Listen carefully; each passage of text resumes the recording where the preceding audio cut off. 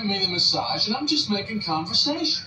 I don't like to talk during the massage. Neither do I, but I do it for them. I figure they're bored. Yeah, I do that too. I feel guilty about getting the pleasure. I feel like I don't deserve it, so I talk. It stops me from enjoying it. There's nothing to eat in here. Oh, I forgot to tell I'm you. in the middle of a story. Oh, okay, go ahead. Why don't you ever go shopping? It's not like it's a really funny story or anything. What happened? Well, so she mentioned that she had a son, and that for some reason, I launched into the story about the kid from Pennsylvania who was abducted. Oh, wasn't that terrible? Yes, it was. Even an apple. She doesn't want to hear that. That was stupid. I know it was stupid. Really stupid. Hey, I just said it was stupid. What about this leftover Chinese food? Take it. I can't believe you said that. Hey, would you stop it already? So, what'd she say? I don't know. She actually seemed to get a little paranoid. This is terrible. What is this, ginger? Eat ginger? I can't understand how anyone can eat ginger. I have good masseuse you can go to. No, she's really good. She's not just a masseuse, she's a physical therapist. There's a big difference. She uses the ultrasound. It's a real medical procedure. In fact, if you get a doctor's note, it's covered by insurance. Physical therapy is covered by insurance? Yeah.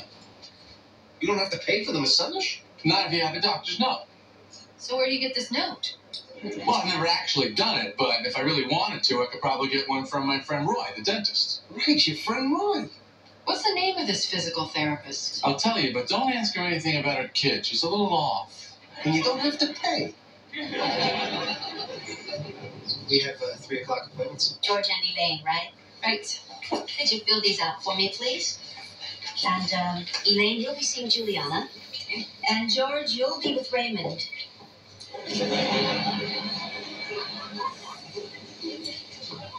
Excuse me, did you say Raymond? Yes. But uh, Raymond is a man. That's right.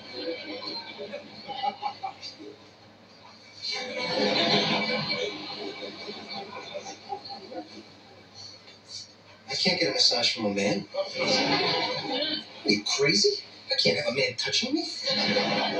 Seriously. I don't want the man either. What's the difference? You're a woman. They're supposed to be touching you. Just be touching your back. He'd just be touching your back, too.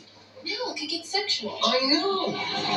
That's the point. If it's going to get sexual, it should get sexual with you. I wouldn't be comfortable. I would. What if something happens?